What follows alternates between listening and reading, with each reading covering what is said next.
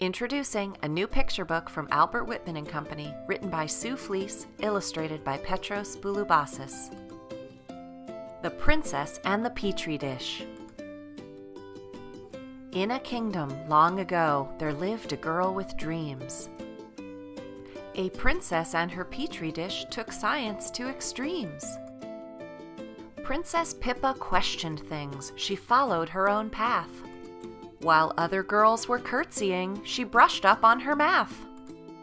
Her parents built a lab for her and filled it with supplies.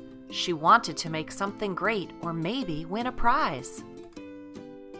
Yet Pippa's lab experiments were never a success. Her hand soap turned your fingers blue. Her slime balls made a mess.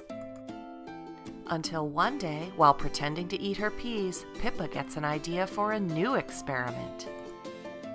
And that's when Pippa hatched a plan. I'll grow a better pea with flavor so delicious all the people will agree.